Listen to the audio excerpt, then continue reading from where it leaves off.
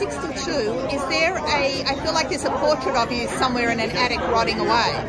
Oh, because you think I, I look youngish? Yeah. Yeah, maybe there is a rotting painting somewhere. Maybe, yeah. So what's the secret? Seriously, Botox. What are we talking about here? Fillers. Uh, brown don't break down. Just a fact. I'm sorry, it's genetic. Even my mom, you just saw my mom. She looked. She's 82. She looked 72.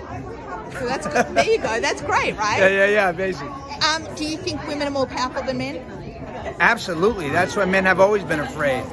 You know, I did, it was amazing about this set was the women were producers, writers, directors, the leads, and I've never felt more taken care of, more nurtured, and, and, and been more collaborative in my life.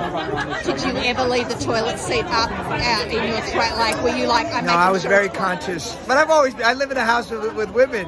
Right. My daughter, my wife. You learn to be thoughtful. Right, right. So Yeah. no, no, No, no, no, no. no. You're you're good like that. Yeah, yeah. I've been I've been trained. It's, it, you you learn that in your teen years. Come on. Yeah, yeah, that's true.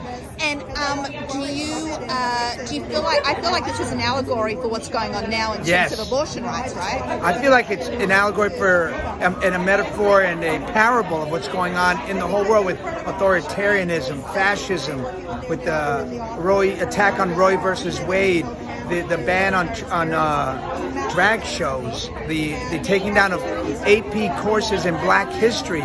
This show covers it all. I mean, it's so interesting because it was written in um, 2016, I think, but it's still like so present, so so in the zeitgeist of what's going on. Right. And, and now that you said drag, I feel like, of course, you were in To Wong. Yeah, yeah. So you must like, Jesus, really? Drag has existed since the beginning of time. It's how everybody got their rocks off. Why, why are they taking that away? Why are they wrecking the world? Right. It's so silly. What a what a dumb thing to do to attack the most vulnerable. I mean, oh how tough you are to attack the most vulnerable. Right. Ridiculous. Yeah. All right. Thanks so much. Sure, pleasure.